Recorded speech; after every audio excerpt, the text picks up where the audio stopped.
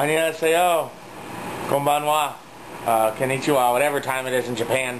Hey everyone, nice to see you. Thank you, Korean fans. Thank you everyone for supporting Bundang Bear, my Dokdo video, and my video against the Uyoku Dantai have really gotten a lot of support. Kamsahamnida. Now, on to another issue. Yasukuni Shrine. For those of you that don't know, Yasukuni Shrine is a shrine in the Shinto religion, very close to the current Imperial Palace in Tokyo, Japan, that houses nearly 2.5 war criminals, including between 12 to 14, it's debatable, Class A war criminals, including Hideki Tojo, the commander of the Japanese army and mastermind of the atrocities committed by Japan in World War II. Now, this shrine exists. Japan's a free country. Sure, fine. Well, it sure as hell should not be visited by important dignitaries, including former Prime Minister Koizumi, and it should not be visited by members of the cabinet, members of parliament. That's like in America, uh, a senator or congressman visiting uh, a slave owner's graveyard. That that would be despicable behavior and uncalled for. And it's uncalled for behavior in Japan. I was reading about um, Yasukuni Shrine. Uh, when I lived in Japan, I did not go there. A Japanese friend of mine invited me to go. She was Japanese American and she thought it would be fun and interesting. We could poke fun at them. She was against very much Japanese nationalism, but I declined to even visit the premises.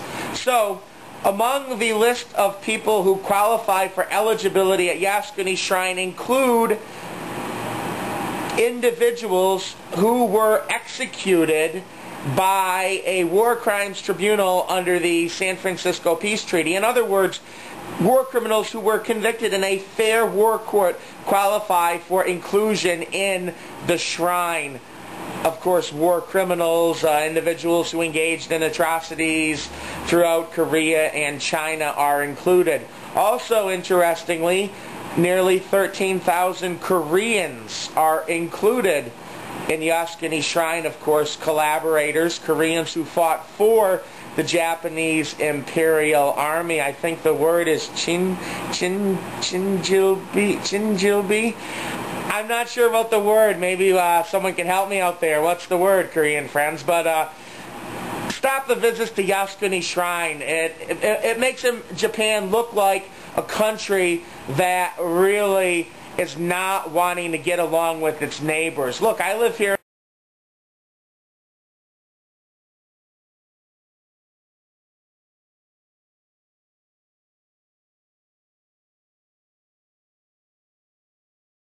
Hey, what was I talking about? Edit.